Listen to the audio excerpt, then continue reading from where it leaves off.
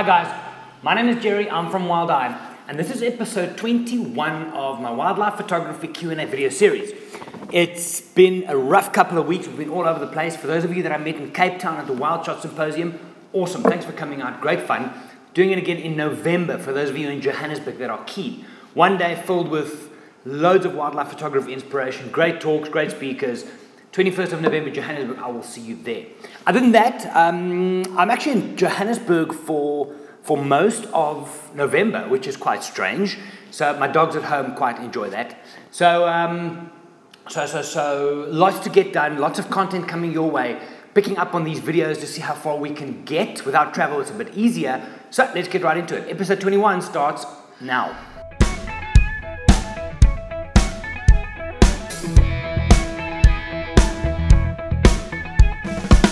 Raw wild, this is probably one of the most common questions that come up is the one not just specifically with teleconverters, but around the gear side of things.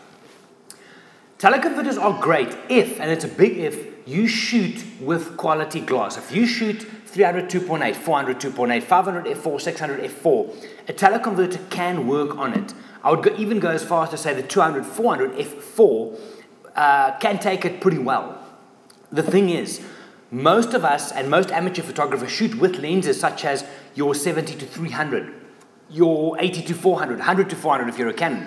Um, to go and add a teleconverter onto that, you need to know what the teleconverter is going to do. If your widest open aperture on the lens, for example, is 5.6, you slap a teleconverter on there, it's going to drop that aperture, allowing less light in, making it more difficult to shoot during the golden hours when there's beautiful things happening in the bush, but there's not much light coming in, which means you're going to have to punch your ISO up.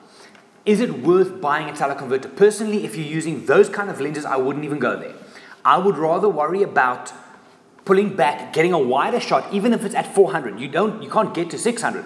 Rather shoot at 400, compose better, and use the environment in your shots to make it happen. Alternatively, use bushcraft and proper ethical behavior to get closer to those animals and then use your lenses from there. Eventually, down the line, you'll have the money, you'll save, and you'll get that 500 f4 or one of those big guns that we also like.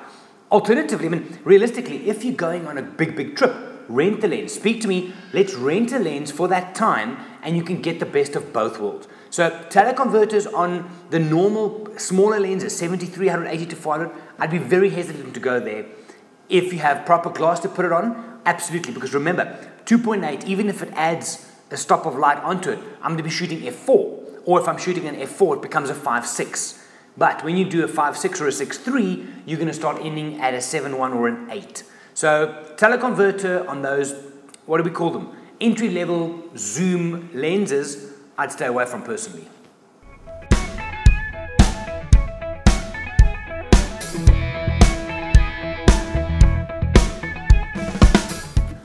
Robert, this is a question that picks up from a discussion I had with a group on a workshop not more than, I don't know, I think two weeks ago, is the flashing of animals at night.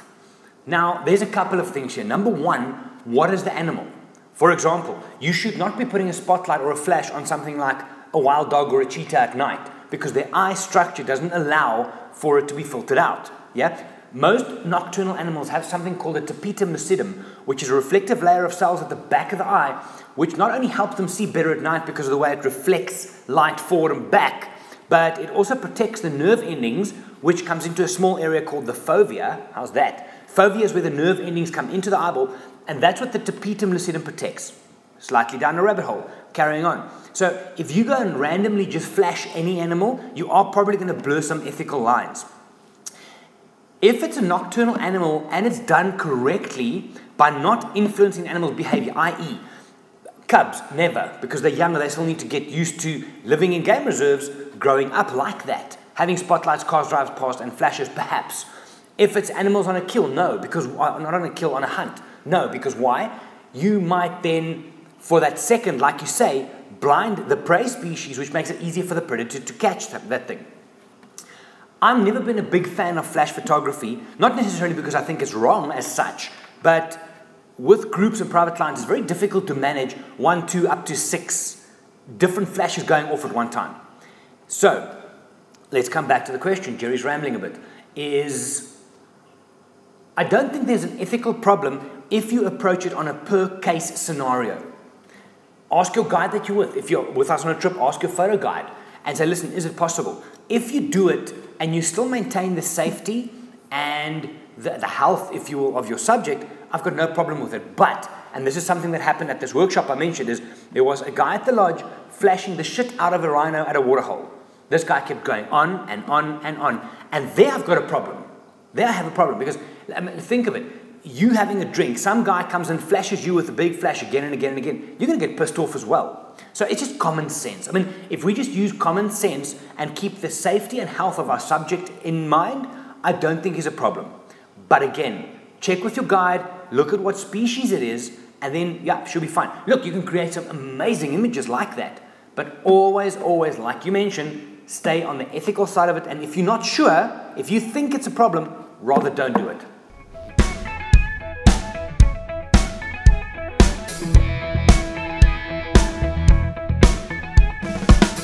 Kylie, this is a fantastic question because it's something we do on every single trip. More, more and more people are going the route of, of back button focus on the cameras. And I'm glad you asked the question because not many people think about the metering side of it. So let's all get on the same page. Focus is you telling the camera which part of the scene to make sharp and in focus. Yes? That we do by using the back button. If you haven't checked it, go and check out the Wild Eye blog. There's three or four very good articles on back button focus. The second part before you take an image is to meter, is to tell the camera which part of the scene to use to expose for. Should it look at the dark areas, the light areas? Mm-hmm. The easiest way, Kylie, to do this is if you look at your camera, you're going to set up your focus on the back button like you have. You then set up on your shutter button, you set up metering. Right, so how this would work, I would focus on my subject, back button, lock focus. That's locked, yeah? I can then move around in the scene, choose the area I want to expose for, have to press the front button, which is my metering, recompose because I still have my focus locked, and then fire. Does that make sense? So it's almost like a two steps before you shoot. One, set up back button focus, hold that focus in. So compose, hold focus. You can now recompose, meter, Yes, read the light in a certain area you want to compose for, half to press the front buttons. Now you're holding two buttons in, recompose again, and then shoot. Does that make sense? Once you understand the, the, the, the workings of the camera and back button focus holds fo the focus while you keep the thumb down. Metering, if you've set it up correctly on your camera, half to press the front button. Now you're holding both buttons while you recompose again. Yeah, subject still in the frame. You've now told the camera with the front button, metering, where to meter and how to expose. You still have the back button, the thumb locked down for focus, and then shoot. It's much easier practically. Kylie, I'm not sure where you're from. This one came in on the website. Um, if you can pop into the office, that'd be great. Uh, alternatively, this is something we are looking at for future, as in courses and stuff online. Watch this space. But for now, short version again. Set up your camera, back button focus on the thumb, metering lock on the shutter button, and then once you've, once you've set both, then you fire the frame. You'll be in focus and you'll be metered properly for the exposure that you want.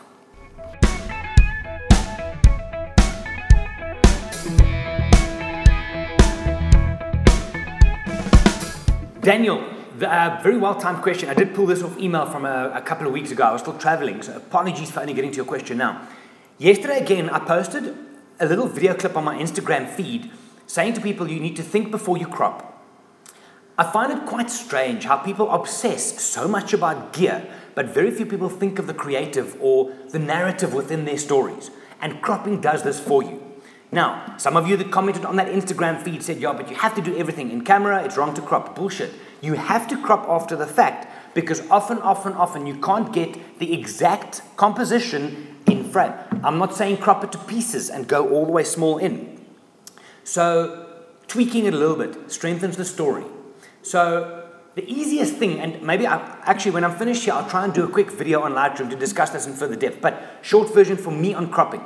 This is the how is easy, yeah? It's the why that makes the difference. So, why would you crop? There's two elements that I keep in mind always and that I teach on workshops is visual mass and visual energy. The visual energy in a frame is if you look at a scene, does your eye want to go side to side or does your eyes want to go up and down in the frame? For example, if I shoot a landscape image of a cheetah running after a gazelle, the energy in that frame is going side to side. It's not going up and down. So you would, number one, off the bat, not crop it into a portrait orientation. That would be breaking the visual energy. You want to try and enhance the energy in the frame to make it uh, support the narrative and help the story that you're trying to tell.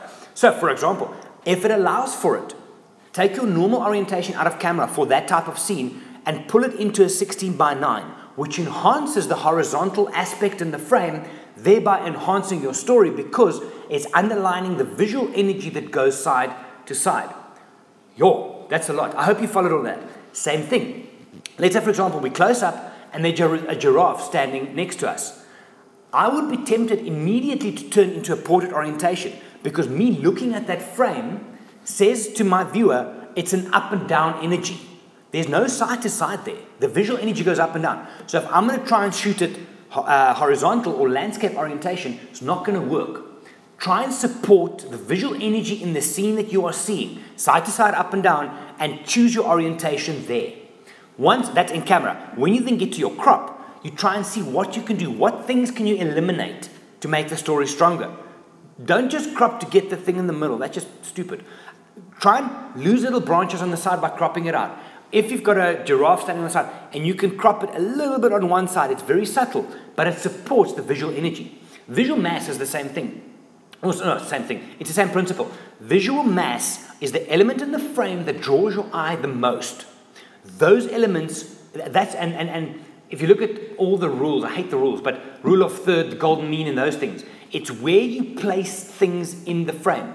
And the things in this case is that visual mass, the strongest element. The eye of the lion, the head of the tiger, the foot of the polar bear, whatever it is that you're shooting, that's what you want to focus on placing in the frame.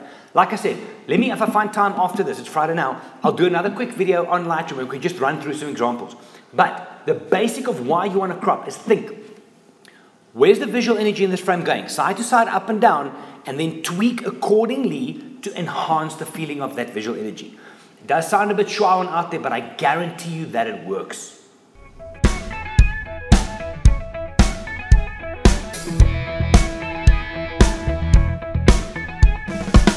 Daniel, thank you for the email. It's something that a lot of people ask on safaris and workshops is it's great being out in the Mara and Madikwe and shooting wild dogs and lions and crossings and all these things, but what if I go home? What do I do then? How do I keep the inspiration, the photographic voice, everything? How do I keep those things going? The, the easiest, and okay, I know what some people will say. No, it's cool. Have you got dogs? Yes, you have dogs. So why don't you go photograph them in your garden? Because I don't want to. For me, I photograph wildlife. I find it very difficult to transfer that same passion and excitement for me into photographing my dogs. I love my dogs, but I don't want to pan them up and down the garden. If that's something that you want to do, it can most definitely work. I think if you want to grow as a wildlife photographer, get out into the field as much as possible. Yes, I know there's financial implications, and I know we all have to work, unfortunately. So, do a combination of, for example, Find blogs that inspire you, find videos that inspire you. Because as long as you keep this photographic mind busy and thinking about composition and the narrative, I hate the, the, the whole storytelling. Everybody's now suddenly saying, people who have never taught before online is now starting to say, you must tell stories, you must tell stories. It's boring. It's, it's, okay, I'm going to go off on a rant here, but I'm going to block it for myself. Cancel. You need to try and look at the narrative in your frames and how you are telling or how you're translating the scene that you saw to people. The more you look at images, the more you read about photography, the more videos you watch. Watch documentaries, learn animal behavior at home. Look at, like, for example, there's that DVD series called Africa. Beautiful behavior, beautiful discussion, beautiful ideas visually will stimulate you that when you get into the field, you're ready. That's the artistic and the creative approach. Technically, learn your camera. I mean, if that means panning your dogs, you know what, if you have to do it, do it. Or, depending where you're at, Go to a local pond where there's geese flying around. Go to the Pilanesberg if you're in Johannesburg, which is two hours away. There's many things like that which you could, which you could try. And then save up and go on a trip. I guarantee you, you will learn more on a photographic safari with us over four, five days, or 10 days, depending what you go on, then you will, for two months on your own, photographing your dogs. So do what you can. I know it's difficult. Do what you can at home. If you need to have your wife run up and down the garden and pan her, do it. But keep the visual, keep, the, keep this photographic voice busy. It's so important that you eventually, when you get to the field, then you've got these ideas. You've seen this on Africa, you've seen this on Gerry's blog, you've seen this on my Instagram feed, whatever. Use the content and the, and the digital world we live in to keep the photographic voice busy. People worry too much about the technical. The technical you'll get, the first half an hour on the first trip, you'll get back into it. But I think people's images are boring and flat because they worry too much about the tech and they don't spend enough time feeding that photographic voice. So if I give you anything, Daniel, focus on that. Watch as many videos as you can, watch images, look for people who inspire you, and then do the little bit of tech leading up to a trip. That's a bit all over the place. But go with that. Feed the photographic voice, feed the, the, the creative side in here, that when you get to the field, you can see the moments. Capturing them technically, that's the easy part.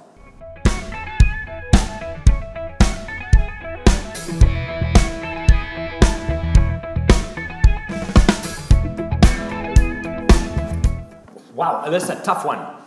I've got a, I've got this thing where, cancel this. A while ago, I spoke to someone who went on a self-drive trip to the Kruger, and they had, I kid you not, four cameras, each with its own focal length. So you could have something, for example, like 14, 24, 24, 70, 70, 200, 200, 400. Yeah, that covers a wide range. Nice to have, and make no mistake, all of us have a little bit of a gear whore in us where we want to have all that stuff. However, I try to, when I photograph, I try to have one camera. I always have two, but I try and focus on one because the moment it's time to get that shot and the action starts happening, you don't want to be sitting making additional decisions. You don't want to have to make the decision of, wow, this lion's about to jump. Do I use my 1424 and get a super wide angle? Do I get a 2470 and get close to the action and get ghost subjects in? Do I go 7200 and just isolate him? Or do I go 200, 400 and get the lion's eye? Yeah? You don't have to make the decisions because you already have so many tech decisions to make when it's time to take the shot. Where to focus, how to focus, do I overexpose, do I underexpose, what aperture to use, is my ISO correct? All of these things happen anyway. I would minimize your, your, your, your technical choices as far as possible in order to make getting the shot easier. So, you mentioned you've got a 105. If you don't do macro, get rid of it. Then you say you have a 7200 and a 1424. Now, 1424 is an amazing lens, and I always have it in my bag. I very, very seldomly actually take it out because for wildlife, depending on where you're shooting, it is not so common to get subjects that close that you could effectively use the 1424. Most of the time, subjects are a little bit further away, which at a 20, uh, which at a 1424 focal length renders them this big, very small, this big, comma, very small in your frame. The 200, 500, absolutely, that will be your focus, your, your big focal length. You can pick that up, zoom all the way in, zoom all the way out, depending where, did you say where you were going to? Uh, um, Kalahari, take the big lens. 200, 500 will be your main lens. I would always be very hesitant to get rid of my 7200 wherever I go, whether I'm going Madikwe, Sabi, Mara, Amboseli, Mana Pools, or Svalbard to do polar, polar bears. I will always pack that lens first depending if you're a little bit further away. The 7200 gives me beautiful range to create telephoto type landscape shots, if that makes sense. And also, then if I'm closer, it's very versatile. So think about this if you take a 200 500 like you want to get, plus your 7200, you are covering the focal lengths from 70 to 500, big range. And the 70 to 200 range is golden. You cannot discount that. If you have 200 to 500 and then you miss this whole intimate, close area here, depending how close you are to the animal, and then 1424, you're probably going to end up just using your 200, 500. I would, in your perfect world, Alyssa, I would go 1424 in the bag for stars, and if something does come very, very, very close, then I would use my two go-tos would be 7200 and 200, 500. It just makes sense to me from a wildlife photography point of view. If you're going out to do landscapes or such, it changes. But for Kalahari wildlife, 7200 and 200 to 500. That just seems comfortable and practical. Right, guys, that's it. That's episode 21 wrapped. Lots of talking there. Hope there's something in you that speaks to you. If you guys have any questions, send them through. Details at the end of this video. Like I said, I'm in the office for most of November. Small trips coming up in December. What more on that later on. And so yeah, so check the blog, check the video content. Instagram still golden. Amazing stuff happening there. I will see you there. Again, here's the link. Go follow me over there. It's amazing. It's Friday. You guys have a fantastic weekend, and you keep sending the questions. I will keep on answering them for you. My name is Gerry. I'm from Wild Eye. I will see you guys next time.